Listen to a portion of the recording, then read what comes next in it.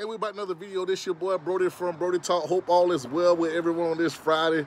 Here's a picture of Coach Monken and Coach Sanders on Colorado grounds. Yes, Army was allowed to practice at Colorado today. Those guys are preparing for their football game uh, this week.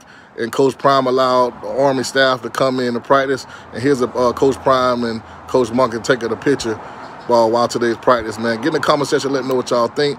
Like, subscribe to the video, holler at your boy. Continue to drop this thing for y'all. It is harder than mama fish grease. Yeah.